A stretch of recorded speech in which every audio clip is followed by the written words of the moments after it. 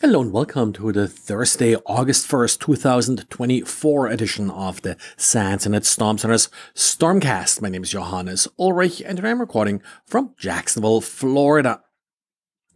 Today I wrote about a wave of attacks we're seeing against a relatively recent OFBiz vulnerability.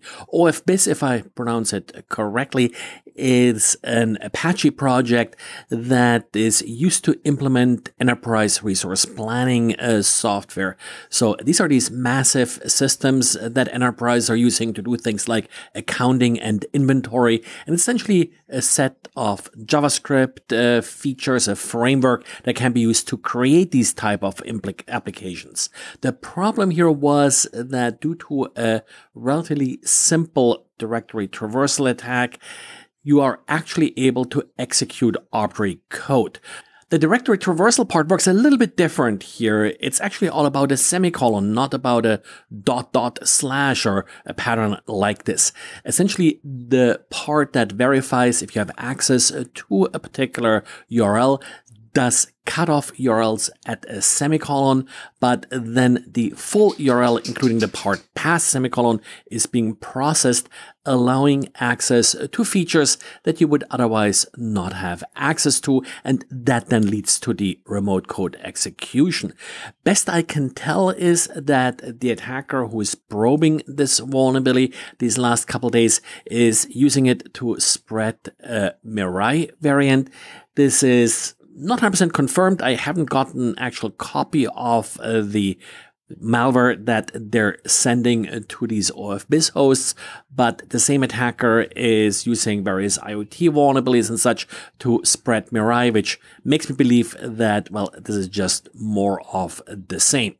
Apache released a patch for OFBiz end of May that will fix this particular vulnerability.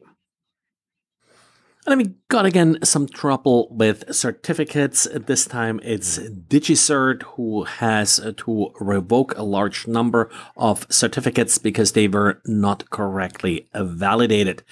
The problem here was the validation via DNS. And if you've ever played uh, with DNS certificates, you've probably seen it uh, where you have an option that you're adding a particular record to your domain in order to prove that you actually own and control the domain.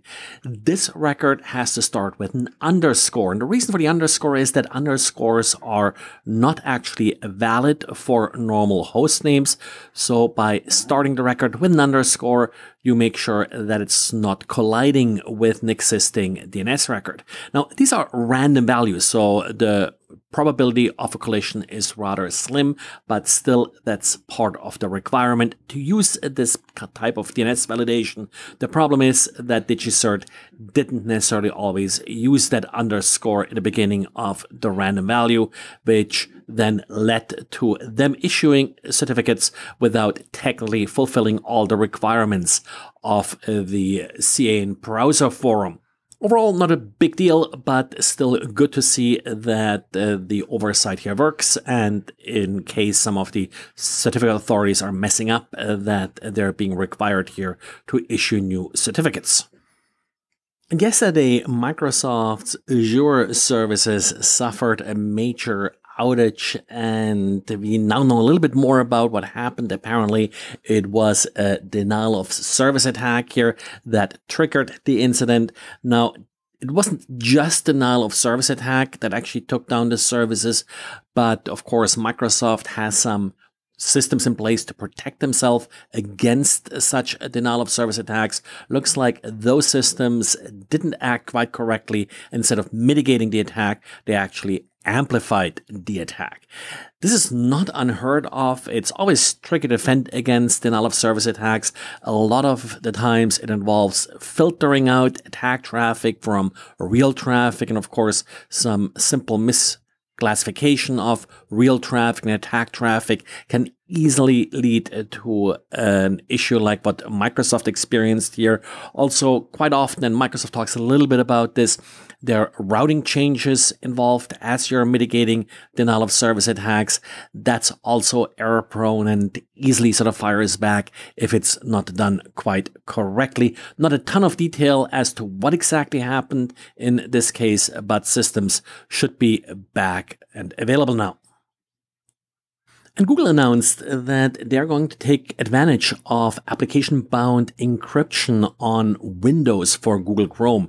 What this means is that they're going to use uh, the data protection API in Windows, which allows applications to have specific encryption keys that are linked to the application to encrypt sensitive information. What that protects you from is other applications on the same systems having access to data like cookies.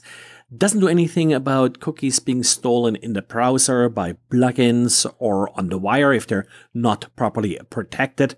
Cross-site scripting would be another attack vector, but where it does help are info stealers, and that has become a huge issue, in particular for websites like Outlook 365, for example, where users do implement uh, usually multi-factor authentication, and the weak link now really becomes this cookie secret. Uh, so whatever secret you're using to authenticate your sessions or whether that's uh, some kind of JWT or such, there hasn't really been a good way to protect these secrets in the browser from info stealers that are monitoring your system.